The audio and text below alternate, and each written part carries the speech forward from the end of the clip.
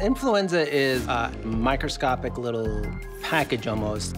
It looks kind of like a ball. The virus has two major surface proteins that stick out like spikes. They look, in a sense, like little lollipops, and these are sort of the business end of the virus.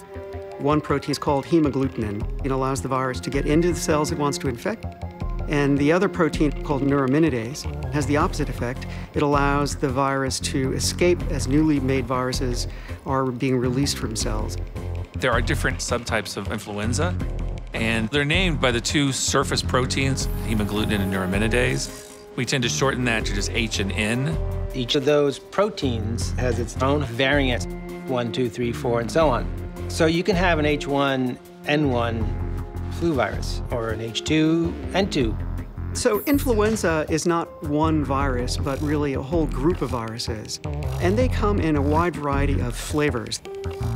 There are thousands and thousands of different influenza strains.